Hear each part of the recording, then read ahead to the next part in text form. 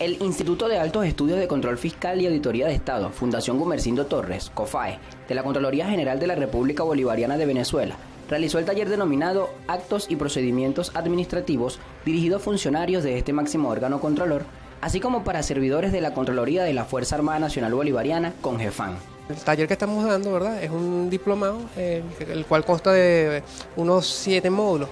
y mm, estoy dando ahorita el módulo de, las pruebas, que es el, un módulo muy importante porque es el, inicio eh, o el, la antesala lo que es el módulo de potestad de investigación y determinación de responsabilidades, los cuales son temas eh, fundamentales en lo que es la, la, investigación de la parte administrativa de todos los procedimientos administrativos que lleva la Contraloría General de la República. Este módulo corresponde al módulo 6 es el de pruebas en el procedimiento administrativo para determinación de responsabilidades y está dirigido al programa formativo entre la Contraloría General de la Fuerza Armada y la Contraloría General de la República. para la formación de eh, integrantes de comisiones eh, actuantes que van a evaluar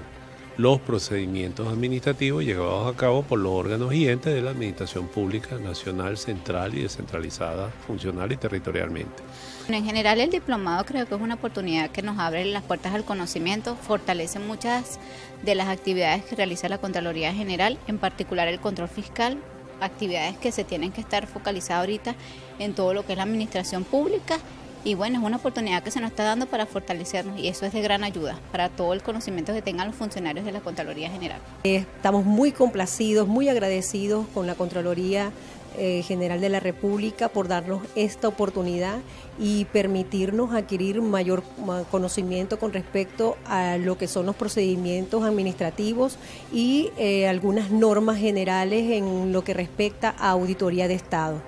Esta, estas actividades muestran esas,